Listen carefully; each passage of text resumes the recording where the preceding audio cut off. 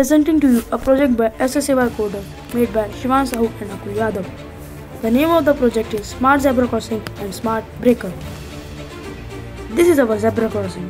When a person moving to it, the ultrasonic sensor placed in front of it will sense and detect the person.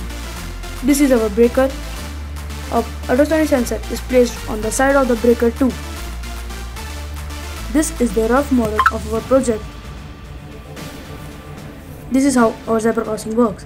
When a person moving in it, the ultrasonic sensor will sense it and glow the lights. From seeing the light, the vehicle driver will be warned and slow down his vehicle to prevent accidents. This is how our breaker works. When a vehicle coming near to the breaker, when it comes in the front of the sensor, the sensor senses it and makes the breaker to pop up out.